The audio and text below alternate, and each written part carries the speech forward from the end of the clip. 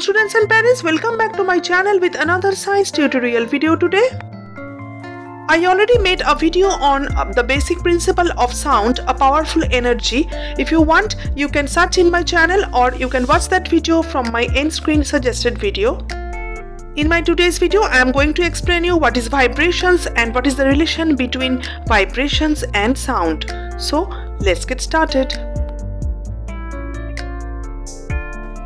Sound is a form of energy that travels in the form of vibrations through the air or any other medium. When these vibrations reach a person's or animal's ears, they can hear a sound. Now let's understand what is vibration. A periodic motion of the particles of an elastic body or medium in alternatively opposite directions from the position of equilibrium when that equilibrium has been disturbed is called a vibration. Sound is a type of energy made by vibrations. When an object vibrates, it causes movement in surrounding air molecules. These molecules bump into the molecules closest to them, causing them to vibrate as well. This makes them bump into more nearby air molecules.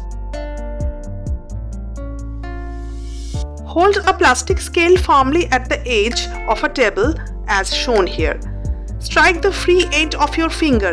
Does it produce any sound? What kind of motion do you observe in the scale? This is called vibration.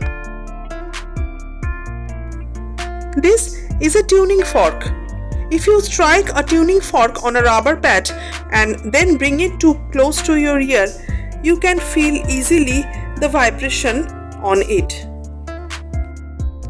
If you hit one leg of a tuning fork with a iron ball or stick, then you can easily feel the vibration on its legs. The kind of motion that produces sound is a rapid to and fro motion or vibration. Hence, sound is produced by vibrating bodies. You can understand vibrations in the movement of a simple pendulum. It consists simply of a weight hanging by a thread. When the ball is given a small push, it performs to and fro movements which you can easily observe. These slow vibrations are known as oscillations. The three important characteristics of vibrations are its frequency, amplitude and time period.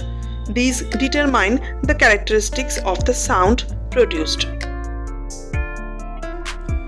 The number of vibrations made by the vibrating body in one second is known as its frequency. The SI unit of frequency is Hertz. You can easily understand what is low frequency and what is high frequency from this diagram given.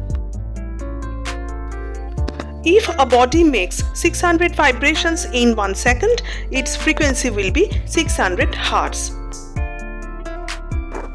1 kHz will be equal to 1000 Hz. Now let's understand what is amplitude. The maximum event of vibration of a vibrating body from its mean position is known as its amplitude. You can easily understand what is amplitude from the diagram given. Now let's understand what is time period. The time taken by the vibrating body for one complete vibration is known as the time period of vibration. It is denoted by T. One vibration is made in every t seconds. Therefore, the number of vibrations made in 1 second is 1 by t. Recall that the number of vibrations made in 1 second is the frequency f. So the expression is frequency f will be equal to 1 by t where t is the time period here. So time period and frequency are reciprocals of each other. So dear students, I hope my today's video will become helpful for your study. Obviously follow my all channel videos to get good marks in mathematics and science. Bye bye.